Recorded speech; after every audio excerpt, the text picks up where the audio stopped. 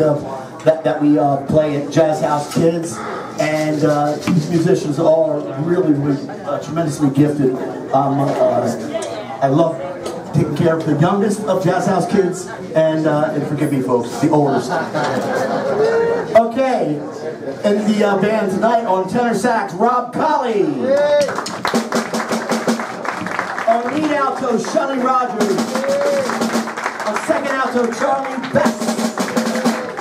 On trumpet, Chris Gifford. On drums, Laura Graves. On guitar, Malcolm Inaki. And on piano, Dina Marucci.